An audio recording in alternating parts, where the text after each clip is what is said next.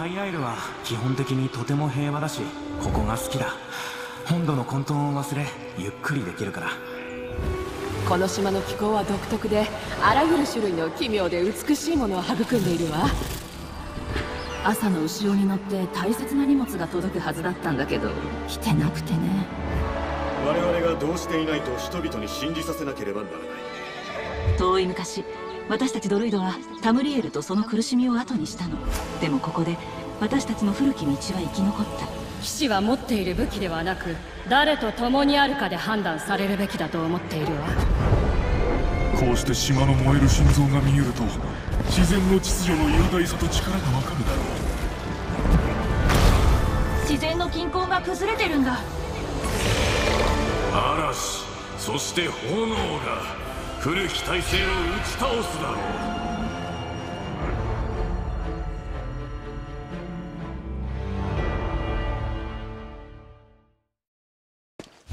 なんかだいぶ布が売れた気がするんだけ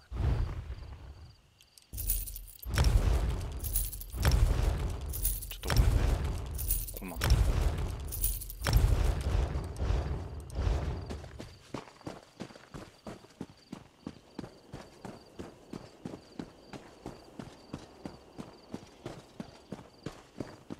馬に乗ったらよかったね。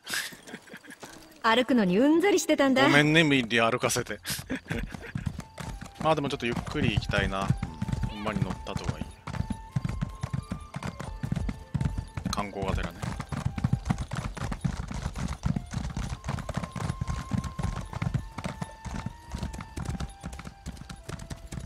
これは何だろう？なんか声が聞こえるね。ヘアミリか。ドルイドの門。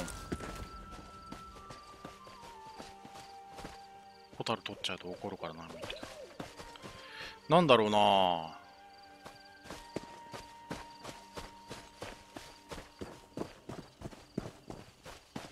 ハーピーが飛んでるなそれ。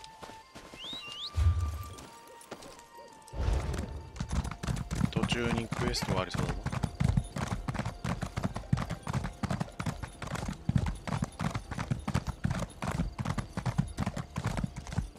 ヒルグリム。在庫全部飲んでしまうなんて信じられない。どうした？私が証拠はか。ただ 瓶の山の中で目が覚めたからって有罪じゃないだろ。う どうしてそこにあるかなんていくらでも理由は思いつく。なるほどね。酒を飲んじゃったんじゃないの？あらこんにちは希少な材料を求めて危険な地域を散策できそうなタイプに見えるわね。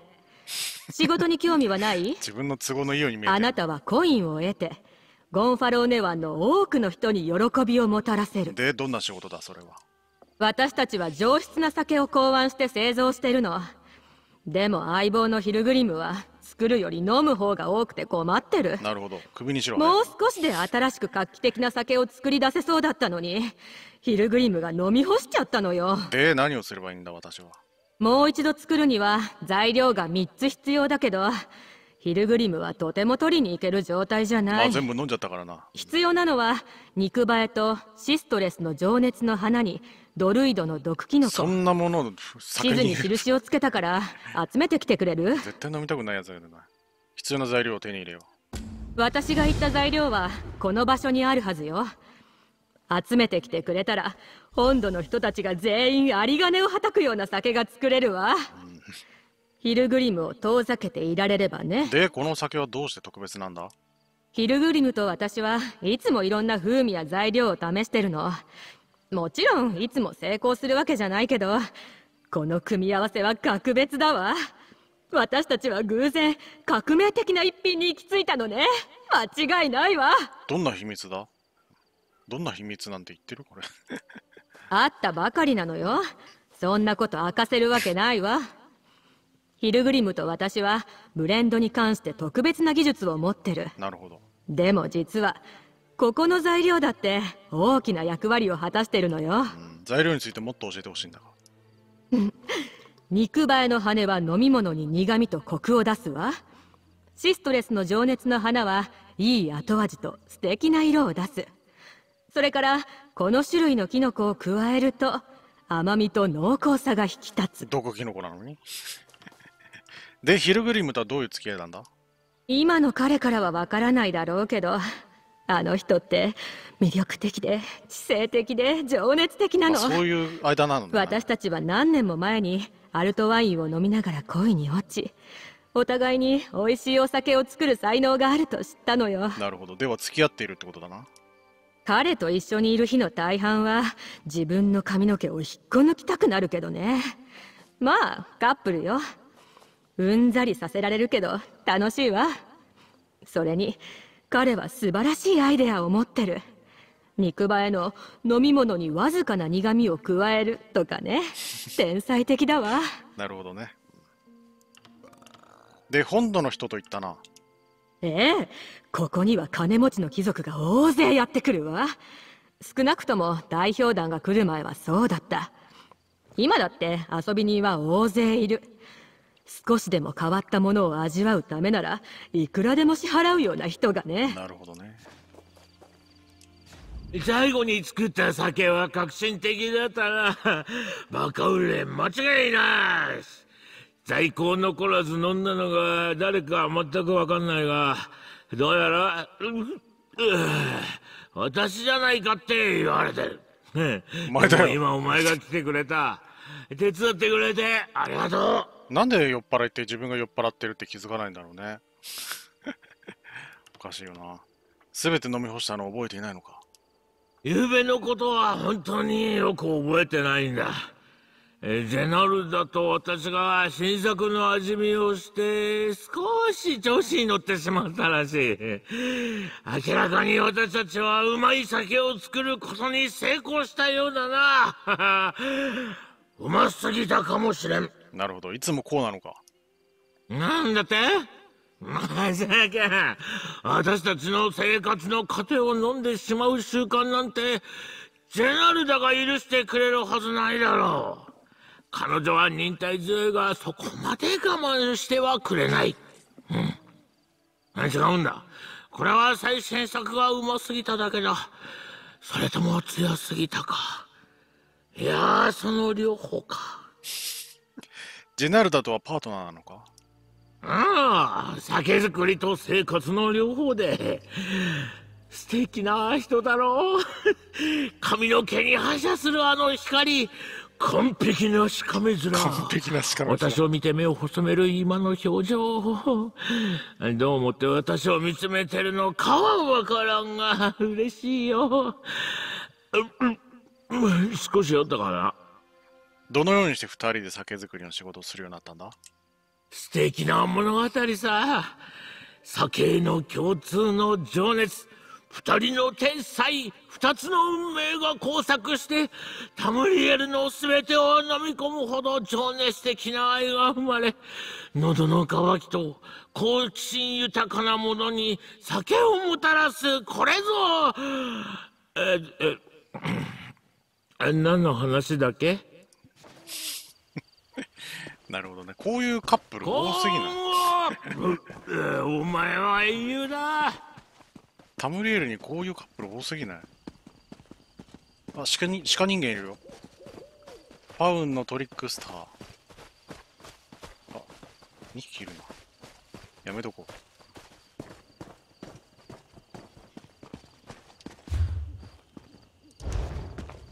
これか。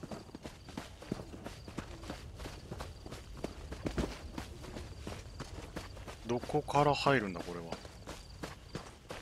この多分真ん中でしょ？なんかこっから登っていく感じ？これ。いやそんな入り口ないよね。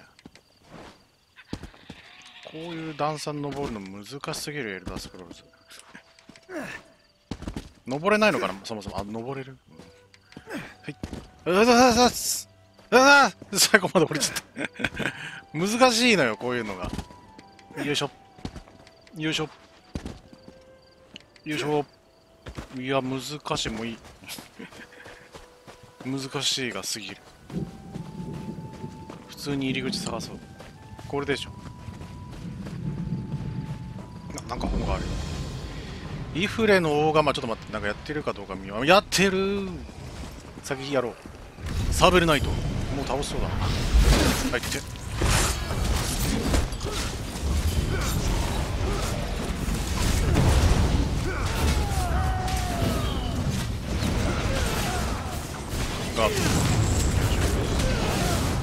はいオッケー。あれなんか来た。いつまでやってんだ？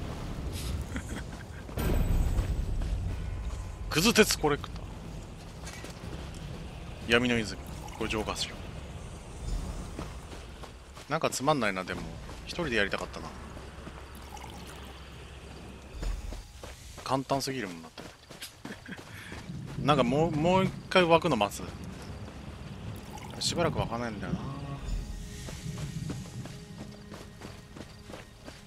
まあでもねあのね開いたばかりのチャプターのねワールドボスなんてこんな感じですよ大体。みんないるからあの簡単ですよ。もうあの別にグループ組んでいくっていうのも大事だけど、うん、あのまあ現地で待ってれば、まあ、すぐ人は来ると思うんで。そういうやり方でもいいのかな。シストレスの情熱の花。まずはここだ。ちょっと脱線しつつあるけど。あ出た。ひまわり畑。夜に行きたくなかったね。多分これはいい時間に来たら綺麗だよきっと。なんかクエスト向こうにもあるんだなんだ？パルキ。バルキか。バルキへの指示。いいかバルキお前にチャンスをやる。揺るぎなき邸宅の周辺で地図の断片を探してもらいたい。あの辺りで最後に目撃された友人の友人が持っていたものだ。ゴンファローネ湾から遠くはないが岩場の陰によく危険な連中が潜んでいるという話だから、えー強盗に遭わないように気をつけろ、えーかけらを見つけたらディフォート港にいる、えー私のところに持ってこい。エシュマンディン船長。ダメだったみたいだな。バルキ。カジとか。バルキのバックパック。何を手に入れたのだ？バルキの破られた地図のかけら。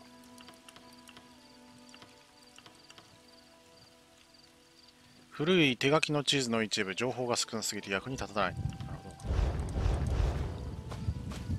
私が届けてやろうバルキ。安らかに眠れ。こうだな。よ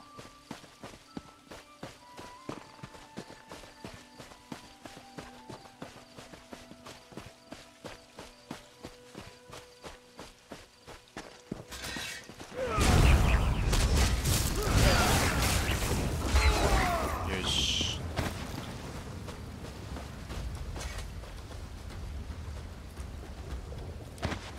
少しくらい取っても悪くないでしょ？でしょ？これだなシストレスの情熱の花。で次は。ちょっとここに顔出してみようかね。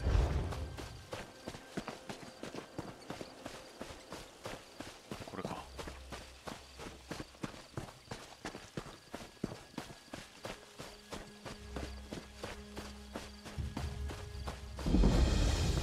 揺るぎなきハンマーとノコギリを発見。ここだったかな？そうだ騎士団のフンヌこのねあのクラフト装備がすごくおすすめですあの始められたばっかりの方には特にねえーと、ちょっとセット内容を確認してみましょうか。えークリティカルチャンス。2セット揃えるとクリティカルチャンス。3セットで武器と呪文ダメージ。4セットでクリティカルチャンス。えー5セットでクリティカルチャンスね。えーで、5セット、ね、もう1個。クリティカルダメージとクリティカル回復を8%上昇させると。うんこれ、クリティカルがね、もりっと上がるっていうのは分かると思うんだけど、まあ、このゲーム、手っ取り早く DPS 上げるには、クリティカル率っていうものをあのがっつり上げてしまうのが一番簡単です。なので、まあ、クリティカルね、こうあるでしょ、武器クリティカル、呪文クリティカル、今33.4%ね、ちょっと、このキャラだと、操作ね。まあちょっと持ってるセットがねあの全避けなんであの敵をぶったたいてないとクリティカル率上がんないっていうのがあるんだけど、まあ大体はね50%以上、うん。まあ、目安としては50%以上、まあ、できれば60%ぐらいあるといいのかな、うん。まあ、もっと言うともっと欲しいんだけども、うん。まあそれぐらいね、あのー高めておくと、まあ一気にクリティカル率、クリティカルになる率がね、あの、体感で上がるので、うんすごく、まあ、あの、クリティカルって、あの、通常のダメージの50%上乗せのダメージが乗るのね。うんまあ、なので、まあ、50%ね、あの、攻撃力をバッと上げるっていうのは、なかなか難しいでしょ。うなので、まあ、クリティカル率を上げて、で、クリティカルダメージを、まあ、上げてしまう。あのー自分のね、あのーなんだ、物理攻撃能力を50%上げるとかよりも、まあ、クリティカルのダメージをもうそもそも上げてしまう方が上がりやすいというか、あのー上がる上昇値が高い、うんですわ。あの装備だったり、食事だったり、食事はねえか。うんまあ、セット効果だったりね。うん、なので、まあ、そのあたりで、まあ、ビルドを組んだ方がいいのかな。ちょっとこれ読んでなかったね。イフレの大鍋を訪れる人へのガイド。えー文化遺産副大臣ベナルディンゲルベス著。えーバレンウッドを除けばハイアイルのイフレの大鍋ほどにタムリエルの自然崇拝者の尊敬を勝ち取っている建物は数少ない。えこの1000年以上前の、えー大建造物は闘技場や円形劇場に間違えられやすいがその起源ははるかに、えー興味深いものである。えストーンロアサークルのドルイドによれば大鍋は強力な、え骨の線の頂点すなわち自然エネルギーの交流点に位置している、えー大鍋の内部で、え唱えられたドルイドの呪文は不思議な特性を示しこの場所で唱えられた祈りはより強い力を持って空に届く。えーサークルの内部にはもう一つサークルがあり4本の線が上下左右に伸びている。えーストンロアのドルイドたちの話では、えー大いなる、えー星見の儀式が存在し、えその際に先祖たちは、えー石の配列サークルを使って未来を占ったという、えー残念ながらその儀式の詳細は第1期、えー665年のヨクダ侵略の際に失われてしまった。あ確かにヨクダの大陸が近いのかこの子は。タムリエルで一番。えーしかし、霊能師に、えー憧れる者は、それでも大鍋の謎の、えー探求を続けている、えー歴史を通じて魔術師たちは大鍋の力を利用しようと試みてきたが成功していない。例えば第1期、えー2345年のマレント・バンヌという資料術師による、えー試みは、えー破滅的な結果をもたらした。えーバンヌの主張だと、えー大鍋は魂を2つに切断できる。えーこれは当時の資料術師たちが二重造語のパラドックスと呼んだ、えー冒涜的な行いである、えーバンヌの呪文は、えー逆流し刻み込まれた、えー夢見人の顔を2つに切り裂いてしまった。その結果起きた崩落によってこの魔術師は死亡した。この悲劇は、えー海外のイフレス敗者にとっていま、未だに深い憤りの種となっている。が、えーストーンロアドルイドたちは水に流したようである。彼らは、えー時折割れた顔を、えー示して、えー時折割れた顔を指して肩をすくめる、え破壊された残骸が無謀な魔術師たちに対する、え十分な警告になると信じているの。え現在この場所を訪れる人々はドルイドの魔術師だけではない。様々な神々の司祭たちが、えこの地には自らの宗教にとっての重要な意義があると信じており巡礼も頻繁に訪れる。え休日に本土からやってくる、え道楽者もまたこの場所に魅力を見出してくる。大鍋の訪問者はこの神聖な地の古い秘密を解明することはできなくても探検するだけでも大いに楽しめる、え良識ある観光客は、え地域のドロイドにささやかな寄付をすることを考慮するといいだろう。この場所の維持費は少なくないからだ。また内部でどうか、え慎みを忘れないよう。に石を持ち出したり頂点の中心部に持ち物を置いたり、え植物をいじることは厳しく禁じられている。なるほどねあ蘇っているな。ちょっとやろうか。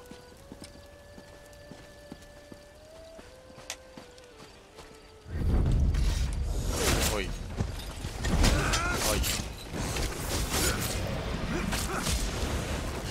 防御して分断する気だ。結構痛いぞ。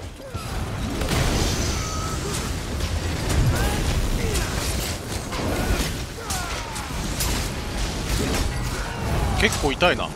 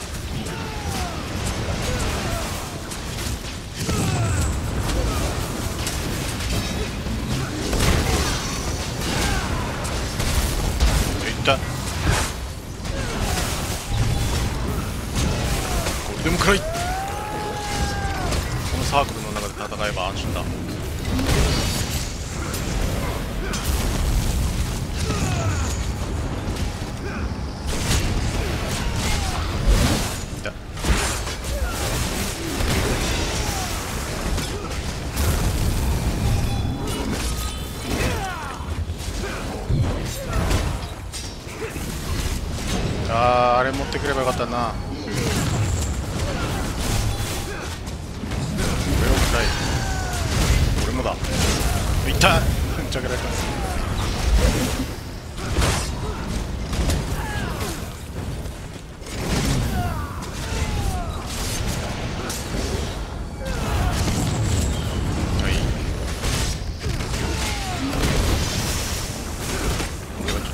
あ痛いやばいやばいやばいやばい。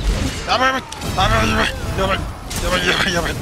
やばいやばいサークルで戦い。ち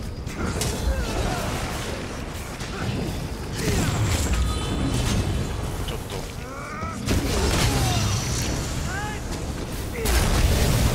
やばいやばい痛い。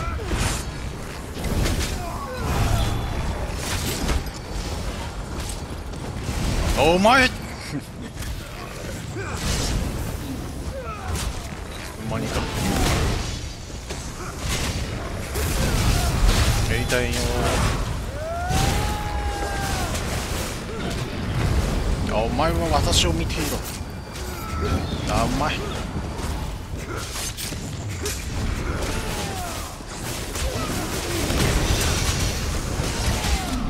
痛い痛い。痛い痛い。痛い痛い。やばいやばい。やばない。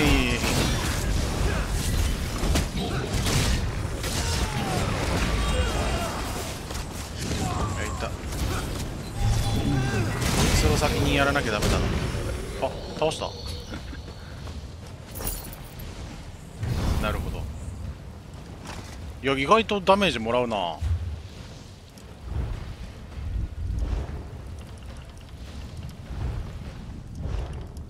ロ向けのチャンピオンポイントにしてるはずなんだけどもう痛かったねとにかく。まあこんな感じでございますね。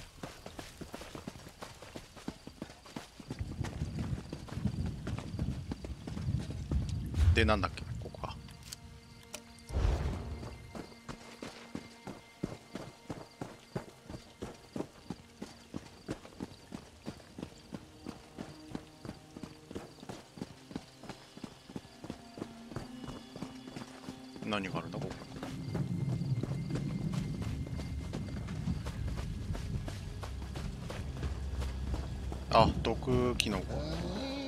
ドルイズ・ベイン・マッシュルーム。うん。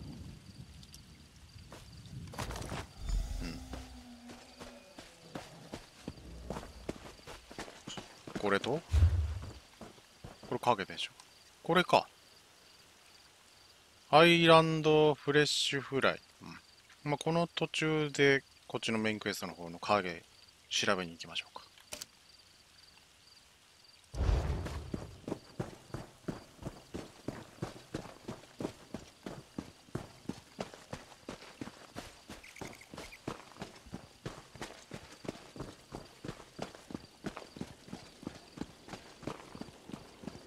なんかあるなそれ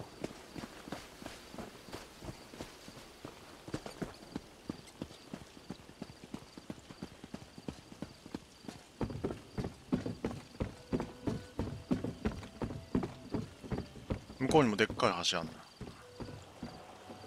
あっちにもあったかな。なんかあるなあそこね。ワールドボスっぽいなあそこな。また今度にしよう。あなんかやってる。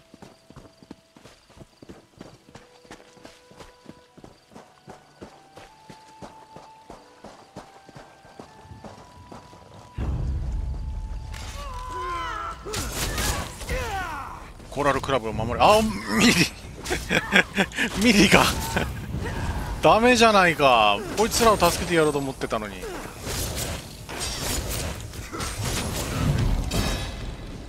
武器アビリティで敵を10体倒すみたいな。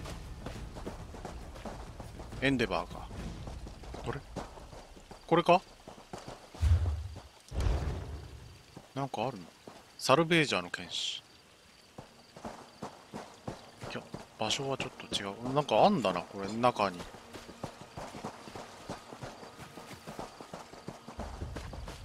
やちょっと待ってなんかあるぞ。オーグリエテえ？ごオーグリオーグエリテオニスなんだろう。残骸だね何かの。オーグリエテサルベージャーには見えないね。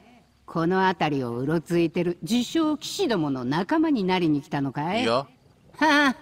私はあんな奴らに忠誠を誓うくらいなら飢えた方がマシよ。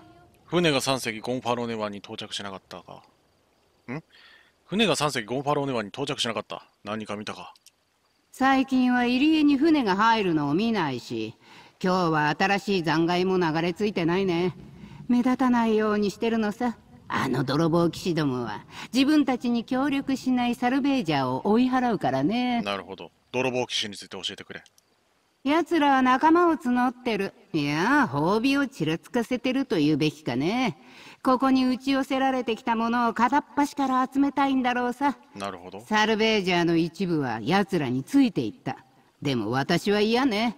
私が見つけたものは私のものさ、騎士は他のサルベージャーをどこに連れて行ったんだ？浜辺の下にある洞窟だよ。浜辺の下にある。でも私は近づかない。チャーベルはあの辺りをうろついて首をはねられそうになったんだ。探し物が見つかったのかはわからないけど奴らは騎士を数人残して浅瀬を見張らせてるよ。なるほど。楽勝。頑張ってくれ。この島にはあちこちにチャンスがある俺のようなものにさえな。探し続けりゃいい。波が何を運んでくるかわからないからな。サルベージャーだと思ったかなチャーベル。首を離れれそうになったやつだね何か光るものを見つけろ。そうすれば食っていける。何か本当に探した。らあ あった。どうやらサルベージャーとしてやっていけそうだな私は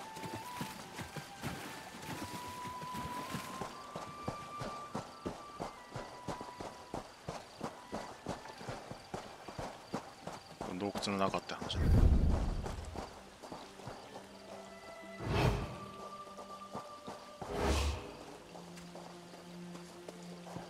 サルベージャーのタカリア。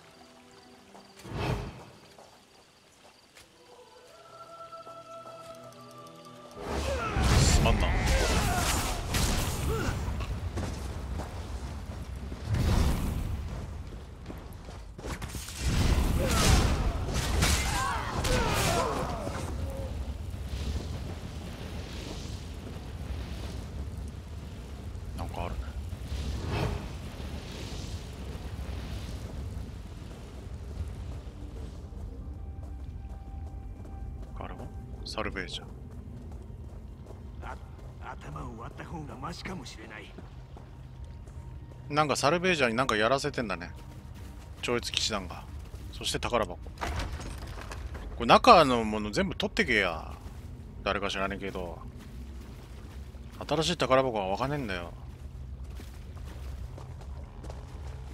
必要なもんだけ取って残り残してくっていう人いるんですよ。必ず全部取ってくださいね。取って捨てる。いらなければ。そこまでがワンセットだから。騎士折取星えーこれからの数日間いくつかの船がハイアイルに近づこうとして、えー破壊する。ん？ん？いくつかの船がハイアイルに近づこうとして破損する。えー難破した船はアブヘイン湾かハイアイル北東の、え海岸沿い、あるいはアメノス南東の海岸に打ち上げられると予想される。えー船に生存者がいたら捕獲し私のところへ連れてこい。えー信用できる者たちをすべて集め生存者たちが浜辺へ漂着した時に備えて、えー待機させろ。えー我々への協力を拒むサルベージャーは追い払え。新しく雇用した者たちはナンパの生存者に手をかけるのをためらうかもしれない。えー報酬は超越騎士団の超超越騎士団での地位だと思い出せ。ん？思い出させてやれ。え民の騎士として二度と飢えることはなくなるとな。超越の魔導士。また超越の魔導士か。なるほどね。これは？装備式が置いてあるね。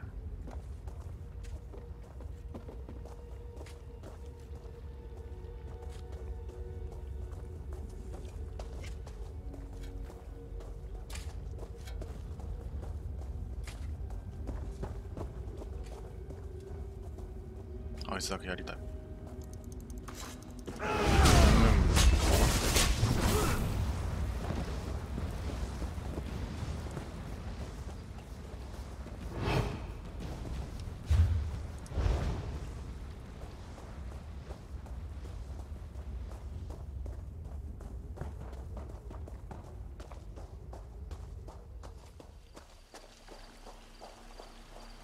よし。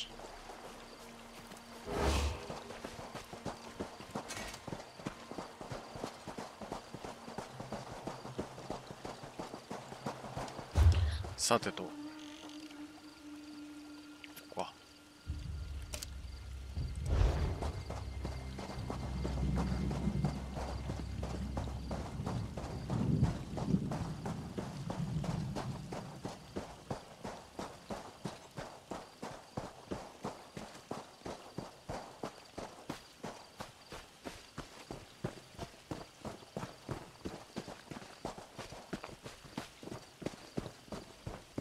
クマちゃんがいる。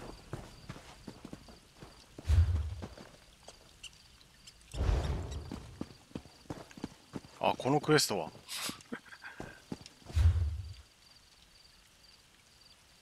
ちょっと、一回、うんレディー・アラベルと話そうか。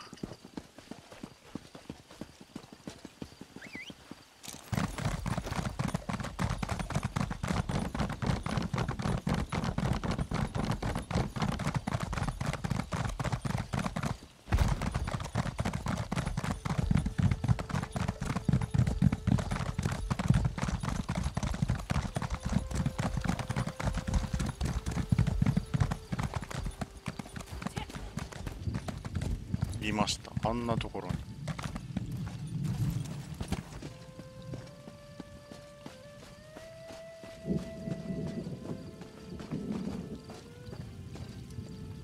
レディ。よく私の野外オフィスを見つけたわね。まあ、マークされてる。あなたの報告を待ちながら入江を監視しておこうと思ったのよ。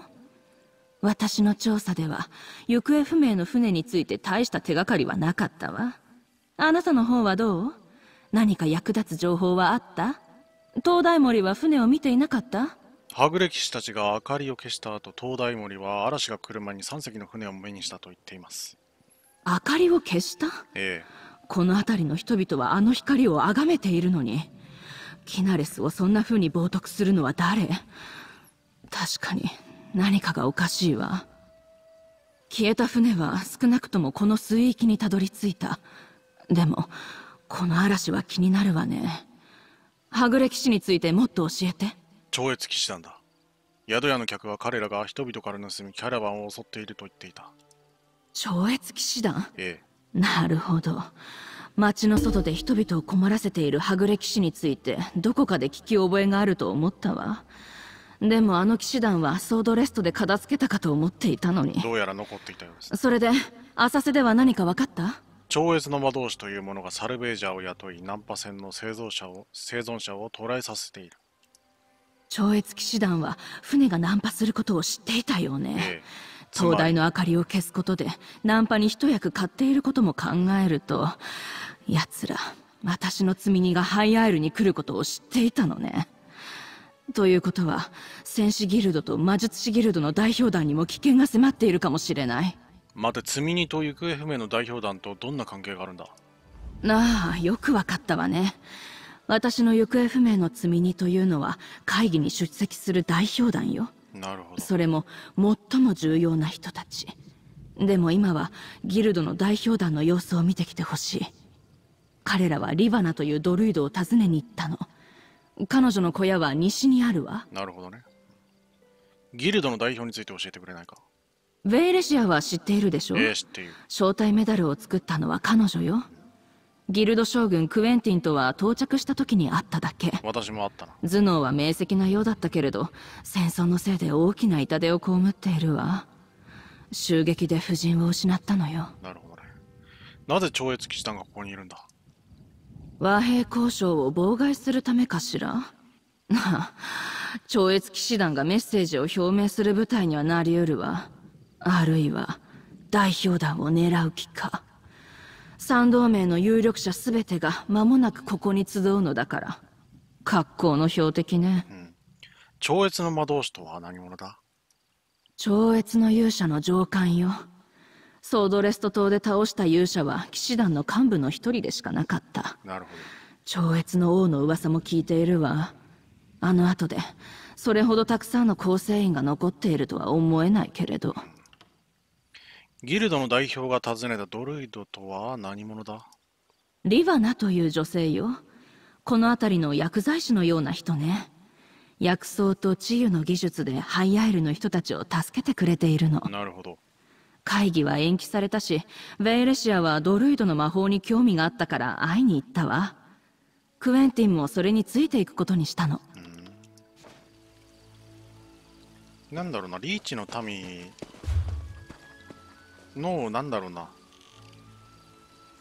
枝分かれした者たちなのかな。でどこに行けばいいって。これか。ドルイドの小屋にまずはでもちょっと先に街の中で終わらせれることやろうか。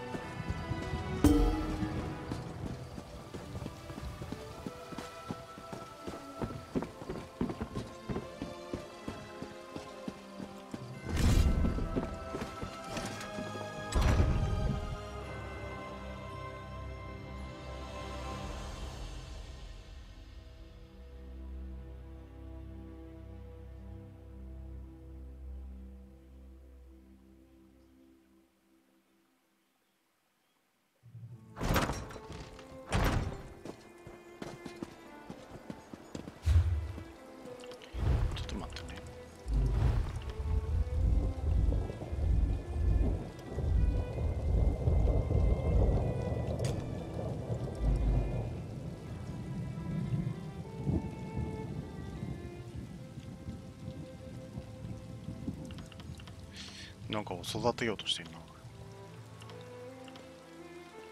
乱雑。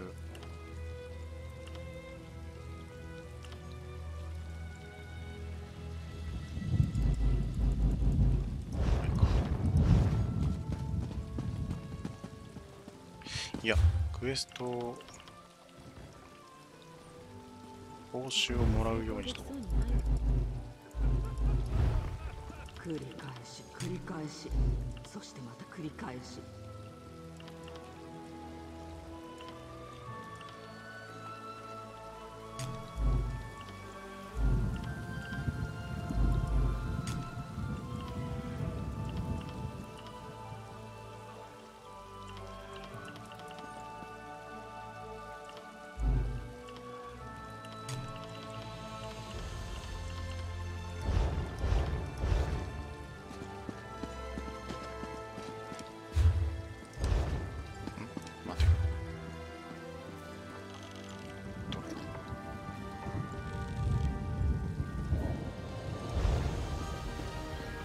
エシュマンディン船長どこ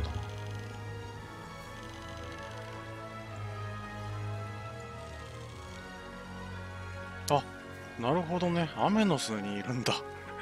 じゃあちょっと難しいな。